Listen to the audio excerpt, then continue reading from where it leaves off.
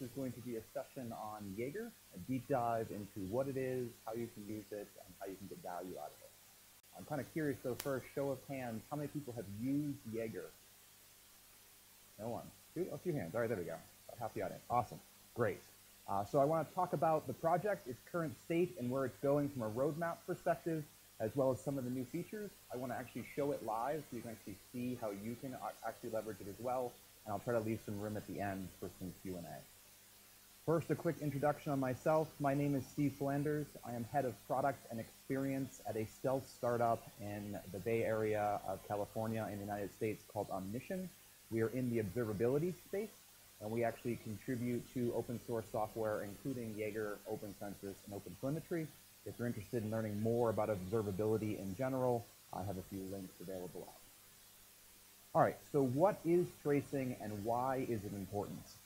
Well, if you look at very large companies, the Netflixes, the Facebook, the Amazons of the world, uh, what you'll see is that they have very complex architectures. They have moved to a microservices-based architecture where they have a lot of different service-to-service -service communication. And this can lead to complexity. Uh, Uber, who actually invented Jaeger, they have a very complex architecture as well. And so calls actually go through multiple of these different services in order to call an Uber uh, to get transportation. And so every request within your system, that's known as a distributed trace. And when you try to troubleshoot distributed tracing system problems, it can be very, very hard. So when you have tens of services, maybe it's not that complex. When you have hundreds of services, it gets very complex very quickly. One of the biggest problems as you move from a monolith to a microservices-based architecture is problem isolation. Where is the problem? Where is the root cause? In a monolith, it's in the monolith. With a distributed architecture like this, one microservice can actually cause errors upstream and downstream, a rippling effect. So while this uh, red directionality of arrow, arrows shows a single call, there are actually billions of them within Uber's infrastructure every day. The same applies to Facebook, Microsoft, Google, Netflix. Any large company that has a lot of microservices has a lot of calls in a given day. Now, what you want to know is what's going on and who's to blame for issues when a problem arises. If you're a developer and you're on call, if you're an SRE and you're on call, sorry, I don't know what happened.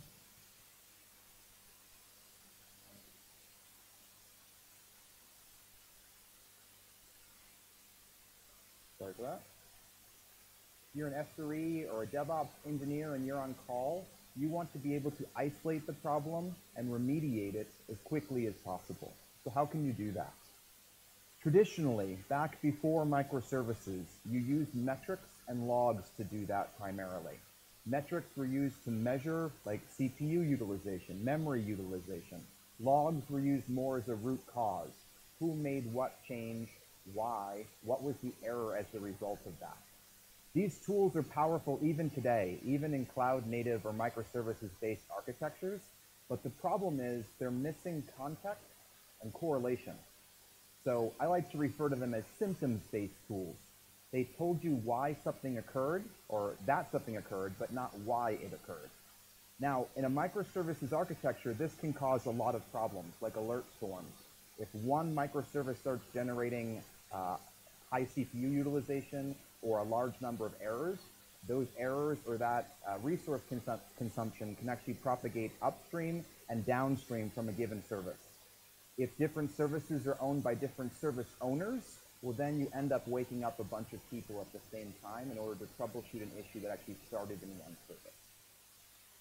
So how do you get context and correlation?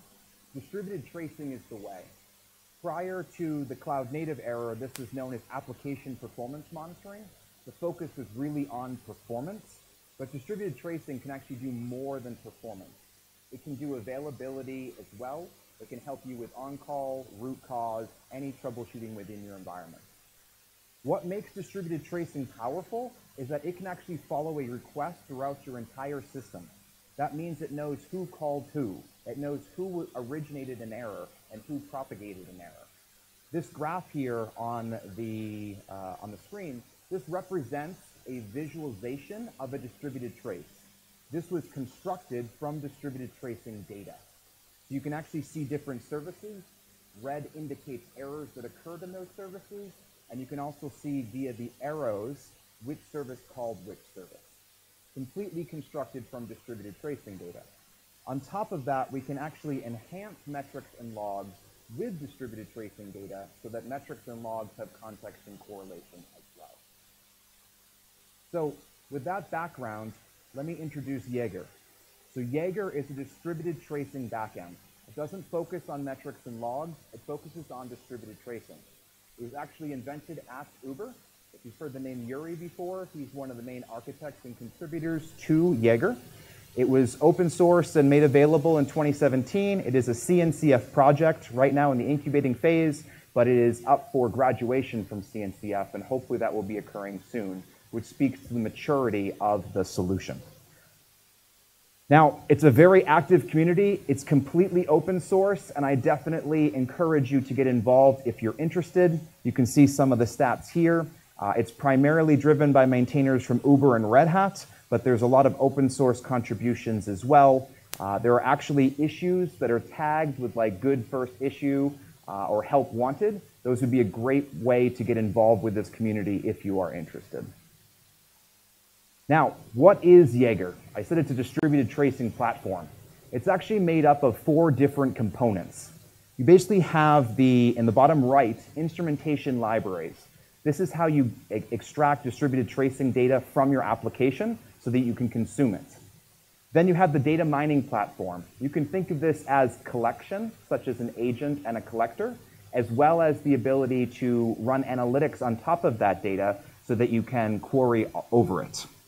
You have the tracing collection backend, where you actually store that trace data as well as the analytics that you have constructed.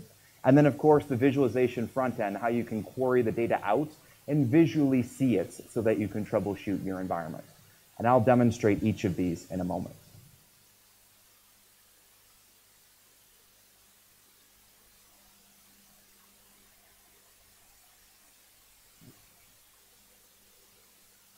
Okay, so there are two different architectures for Jaeger.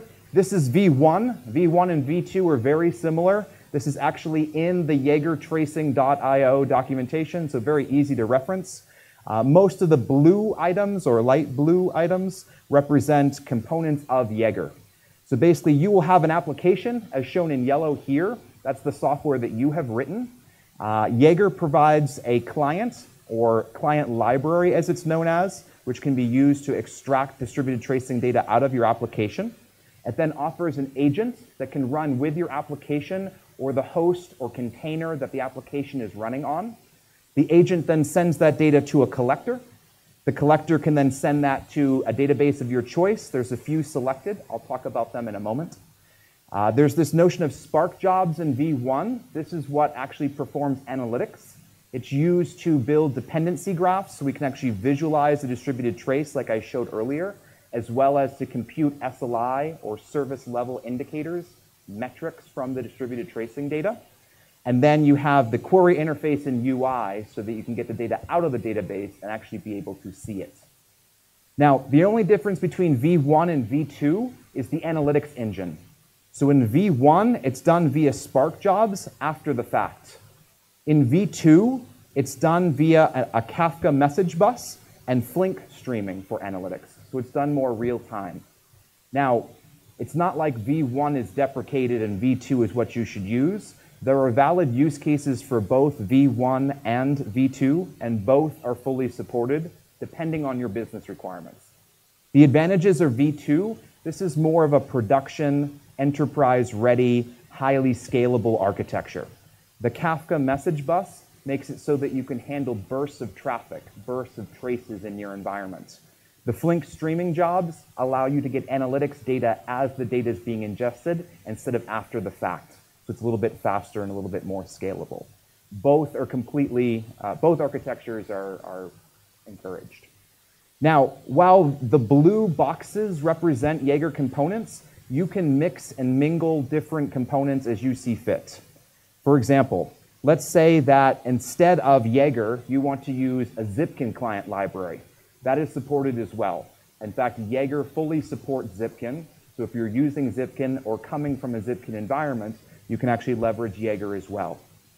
In addition, if you wanted to leverage, let's say, the Open Census service, which is made up of an agent and a collector, instead of the Jaeger agent and collector, you can do that as well. This architecture is still fully supported. You could still get the data into a Jaeger backend, and you could still use the Jaeger UI to query the data out. So you can mix and mingle however you see fit. The advantages of, of this are clearly flexibility, but from a collection standpoint, the agent and the collector, I could now send to Jaeger and Zipkin at the same time. I could send to Jaeger and Omnition, let's say, for example, at the same time. So there's flexibility if you leverage different components, but that's not a requirement. You could also skip the analytics engine if you really wanted to. Uh, if, that, if you didn't need the service level indicators or the dependency graph, if you just wanted raw traces and the ability to query over that, that's possible as well. So again, the architecture provides flexibility. All of the components are available to use. To use. It's a modular architecture, so every box basically represents a separate Docker container that you can deploy, and so you can uh, mix and mingle to fit your needs. Now, I should point out that Jaeger loves open standards. I'm actually doing a talk immediately after this one in this room on open telemetry, which is another CNCF project, the merging of open census and open tracing. The Jaeger client libraries that I mentioned, they are actually open tracing compatible today. Uh, open Census fully supports Jaeger today, and these two projects are merging to form Open Telemetry. Uh, in fact, Yuri wrote a post on this. I have a link at the bottom. It's a Medium post. And Yuri talks about that in the future, Jaeger is considering uh, removing its client libraries and relying on Open Telemetry's client libraries and also removing its agent and collector and moving to the open telemetry agent and collector. So Jaeger is open source software. Jaeger loves open standards. Open telemetry is providing some of those standards. That's definitely something to take a look at in the future. All right, going back to Jaeger, the technology stack. So Jaeger is written in Go. It's completely Go language today. It has a very pluggable storage architecture. This is actually critical. It's one of the newer features that came out in the 1.9, 1.10 timeframe, and 1.12 is the latest version. So basically, the way Jaeger handles this is they support three core storage backends in the Jaeger repository itself. Those backends are Cassandra, Elastic, and Badger. And then it has a pluggable architecture so the community can contribute other backends if they want those as well. And there's a separate repository for that. It's maintained out of Jaeger Core. Today, that includes InfluxDB and Couchbase. Uh, there's also a GitHub issue open for other types of uh, backends, such as DynamoDB. So if you're interested in contributing to that, PRs are definitely welcome. The front end is a modern React JavaScript-based front end. It's very responsive. You'll see it here in a minute. I already talked about the open tracing instrumentation libraries and how that uses an open API standards. And there's already integrations you saw in the V2 architecture, Kafka and Flink. And of course, this could be extended to support other analytics uh, backends if you wanted as well. Okay, so integrations. I just want to cover this real quick. Depending on where you are in your cloud native journey, there's a bunch of ways to get going with Jaeger. So for example, if you're on Kubernetes, there's a native operator that you can deploy today. If you're on Istio, there's integrations for that. If you leverage Envoy as a sidecar for your data plane or as part of a service mesh, that's already instrumented and fully supports Jaeger. So there's a bunch of ways to get started with little work on your end to actually consume Jaeger. I definitely encourage you to take a look at these resources. I don't have time to cover all of them. All right, new features. So the latest version is 1.12. I want to talk about some of the changes in the 1.10 to 1.12 timeframe. I think this is important to speak to the maturity of the product. As I mentioned, Jaeger is up for promotion in CNCF to become a graduated project. So a lot of the focus that you see today is around hardening the existing feature set to make sure that it is production and enterprise ready. So for example, Elasticsearch being one of the primary backends, there's been a lot of improvements to the security side of the house to ensure that it's hardened to best practices to ensure that your data is secure in that database. Uh, gRPC support is natively being added to it. They see that as the future. In fact, the front end and query interface was recently migrated over to gRPC in order to get data out of the backend. Better Zipkin compatibility. As I mentioned, Jaeger is fully Zipkin compatible, so as changes are made to Zipkin, Jaeger is also enhanced so that it can support that new functionality. You can mix and mingle Zipkin and Jaeger as you see fit.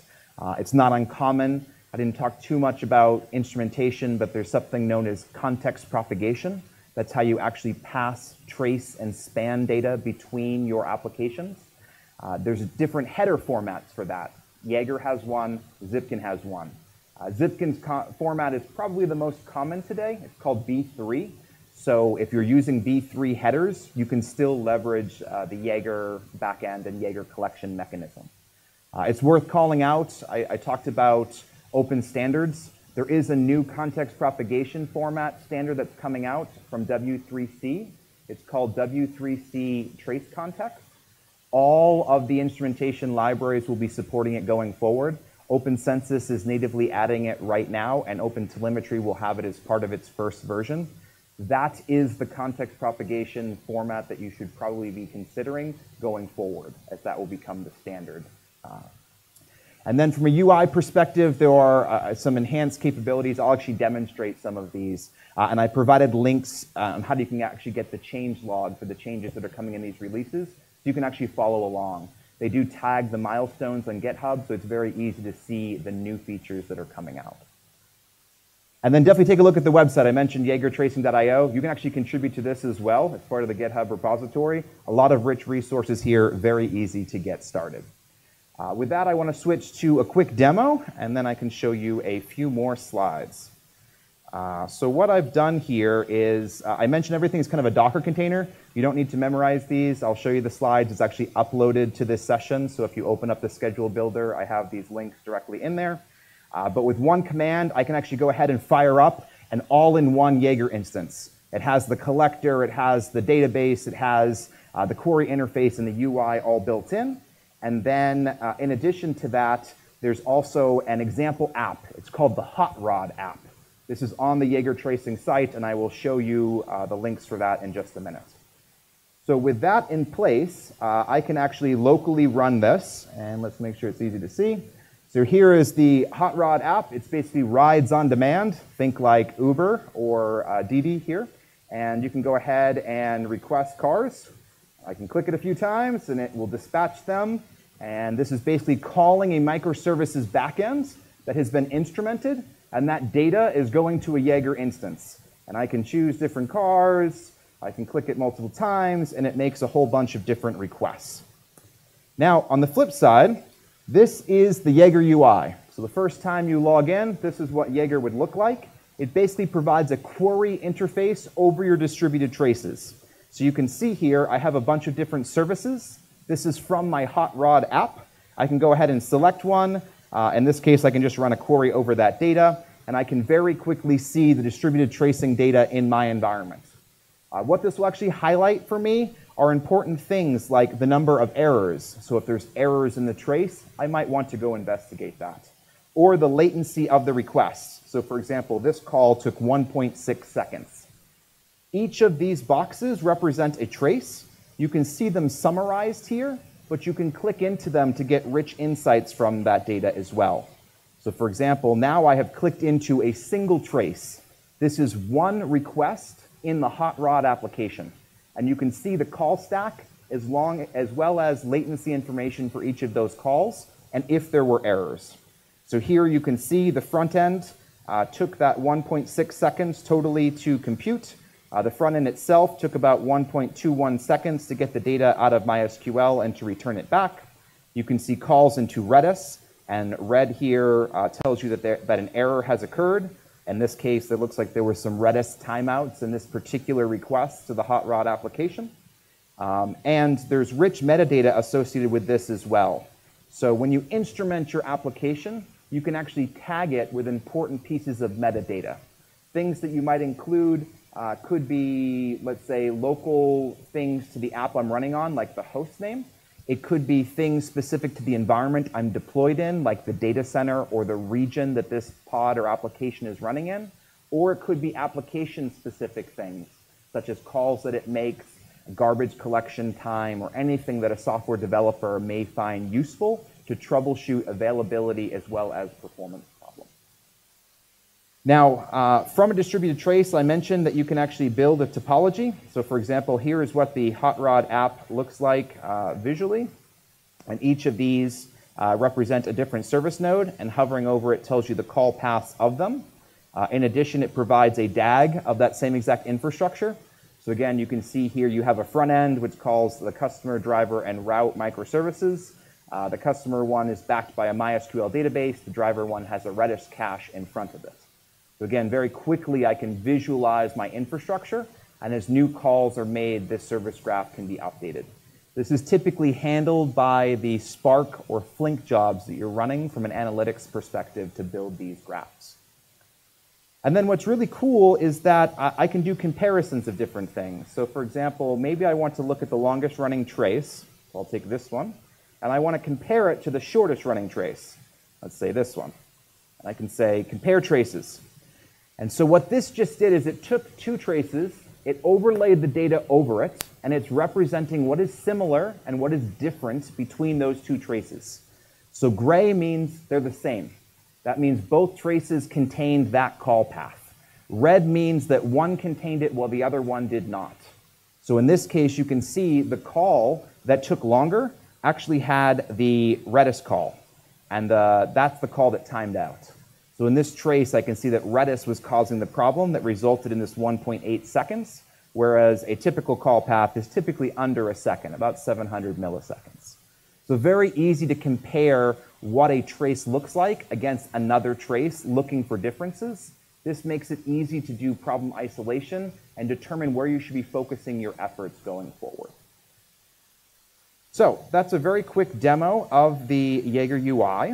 Uh, I do want to show you some future things as well uh, that are planned. And as I mentioned, I do have these commands uh, in the slide deck, so it'll be easy for you to get after the session. So graph visualizations. Uh, what I showed you with the Hot Rod app is really a basic app. It only had five or six microservices. And if you have a small microservices-based architecture, that will work just fine for you.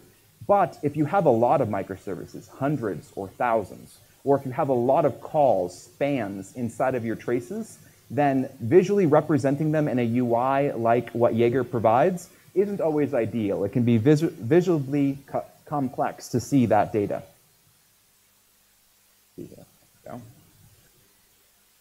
So uh, if you have small traces, we can do a comparison. I showed you two different hot rod calls. That was pretty easy to visually compare.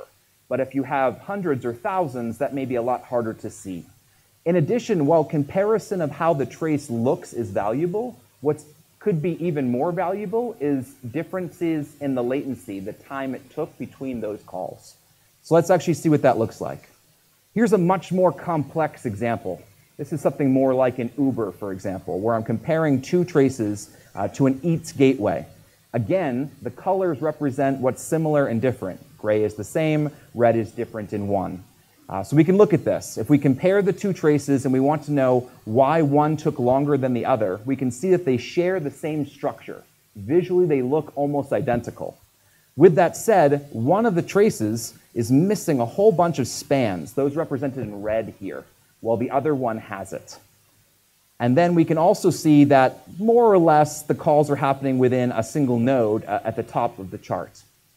So the divergence here at the bottom probably accounts for why one span or one trace, one call, one request took longer than the other. Now, what we might want to do instead is, what if instead of comparing the structure, we compare the time of the spans and see if there are differences there. Just because it's red doesn't mean it's faster or slower in the previous example. Here I want to show uh, a future roadmap item for Jaeger. The idea is, again, I'm comparing two spans where one took 2.74 seconds and the other one took 50% longer. And I want to answer the question of why. Why did it take longer? So I can see that there are some new spans. I might be curious, are those to blame? Is that why it took 50% longer? I can also ask the question, is it just because there's lag, there's increased throughput for this request, so that's why it took longer? And so the idea here is instead of comparing uh, spans visually from a structural perspective, I compare them from a duration perspective. And here, if I look at duration, I can see very quickly that the durations are very similar even between the different nodes. I can see that nodes that are not shared, they don't really have a difference here. But I do see a few black and reds. It's a little hard to see in the chart here. Uh, but those are different from a duration perspective. And the idea here is I'll be able to hover over any of these spans, any of these calls, and quickly see, hey, this call took two seconds or 1.7 seconds. Why did it take that long? This is problem isolation. I can now go to the service owner for this particular service and say, hey, why was your service slow? How can we speed it up? Because it's impacting the rest of the calls downstream. It's impacting customer experience. And may, there may be multiple services that are slow, and so you can see that very visually. Now, this is not available today. You can actually compare two uh, span structures to one another, but you cannot compare two, span, uh, two trace durations to one another.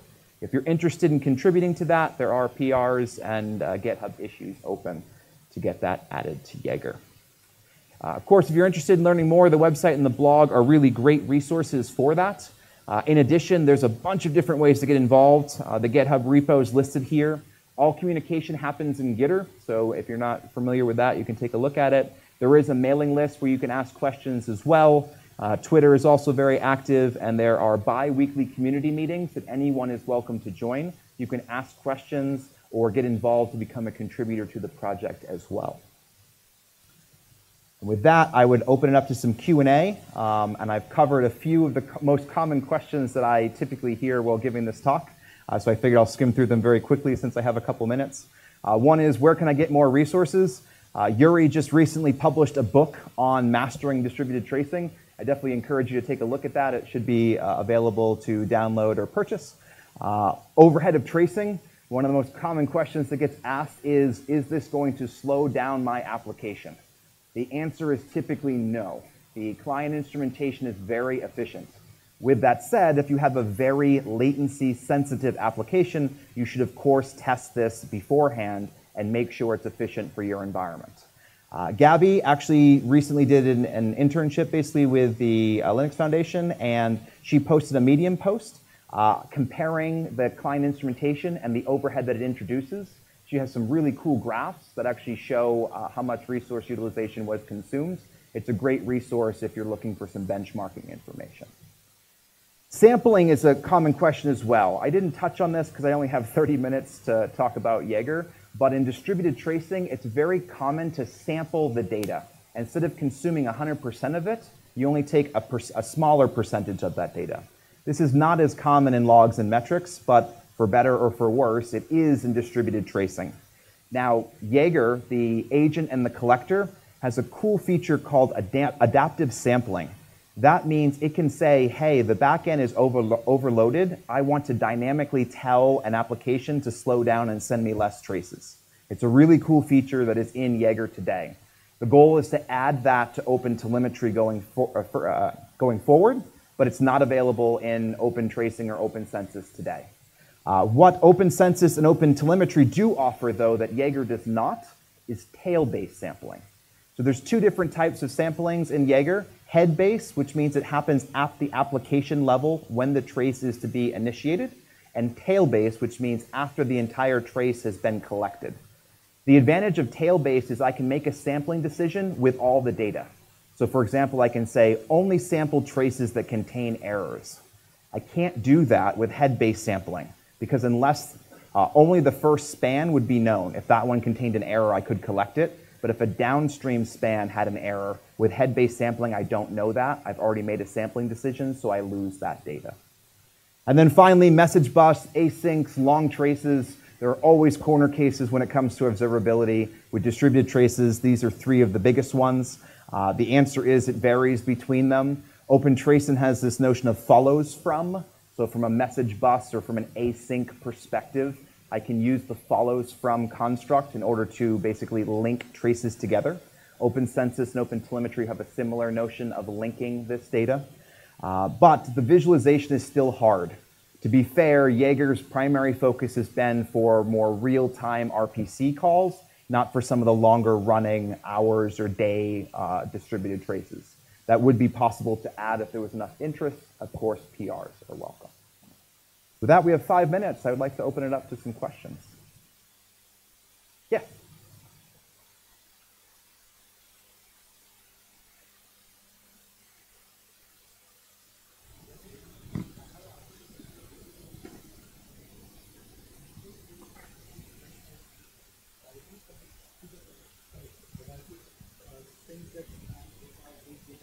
To the collector.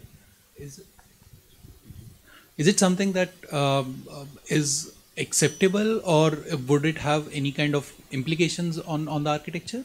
So the question was around, uh, I don't want to send the client library distributed traces to a local agent. I want to send it directly to the collector or directly to the Jaeger backend. Is that possible? So the answer is yes, that is possible actually. Um, you can uh, send the client library directly to the collector itself. The collector can run with a database node. I wouldn't recommend that in production, but you can do it. For example, Jaeger publishes an all-in-one, uh, so that is totally possible. With that said, the best practice is to run an agent. Let me explain why. It's kind of important. Uh, there's a couple reasons. One is client instrumentation requires you to edit your code, which means you have to commit it to your repository and push it through your CI/CD pipeline. That's overhead for software developers. They don't like to touch it multiple times. If I run an agent, I can tell the client instrumentation to point to localhost. Localhost never changes, always localhost. So no matter where I deploy it, anywhere in my environment, the client instrumentation just points to localhost and the agent will work. If I point to a collector and it's in a different data center and I have latency problems, or I want to rename it or re-IP it, I now have to go touch my code.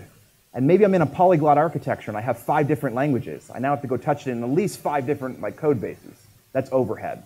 So in general, the recommendation would be use the agents because having the ability to send a local host is very powerful.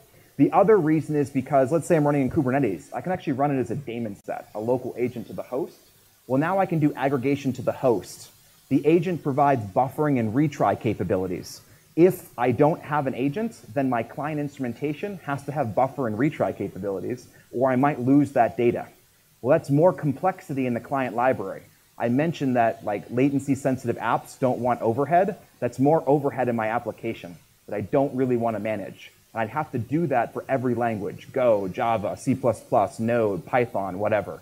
So ideally, you want the client library to be as simple as possible, to not have to have that logic, and uh, to be able to point locally to itself so it doesn't have to be reconfigured. That's some of the advantages of the agent and why you should probably use it, but it is not a requirement. Sure. Um, so uh, uh, just a follow-up question on that. Mm -hmm. um, so how do you plan or is there a capability where the agent can be plugged in in a Cloud Foundry based environment? In Cloud Foundry, I mean, the, the agent can be deployed as a binary, a sidecar, daemon set. It's a flexible deployment model. It's just a Linux binary. So you could deploy it anywhere. Right. So uh, you mean to say that we can deploy this agent binary uh, as a sidecar in Cloud Foundry deployments? Uh, I don't know specifically for Cloud Foundry. I used to work on it a long time ago, and a lot has changed. I worked at it when it was at VMware. It's now at Pivotal. Mm-hmm. Um, but I know you can deploy containers, and I'm assuming you can yes. deploy sidecars. Um, so we did try that, but uh, apparently uh, this as a sidecar, the binary as a sidecar, uh, does not really work with PCF or the Pivotal Cloud Foundry, right? And there's an open issue uh, on on Jaeger. Okay, uh, let, us think after this. I would love to hear more about that, and let's mm-hmm. see if we can figure that out because it should be supported. Our yes. goal is to make it flexible for any platform, whether it's Kubernetes or Cloud Foundry or something else. It should work. Absolutely. Thank you. Thank you. Other questions? I have one more minute. Yes.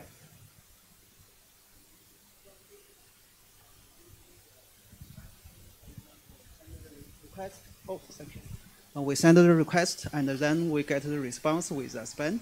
But after we introducing the service mesh, for example, Istio, uh, we think most of the things are dedicated by the service mesh.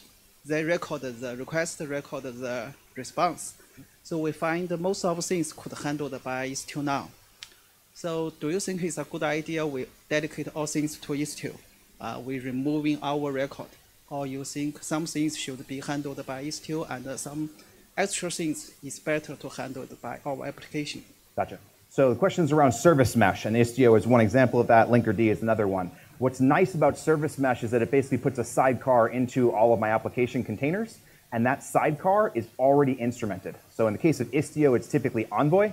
Envoy is instrumented with Zipkin and Jaeger compatibility, uh, so I can get distributed tracing data for free, if you will, directly from Istio. I highly recommend you leverage that. Now the question is, well then, do I need to really instrument my app? The answer is it depends, but probably. Here's why. Two reasons.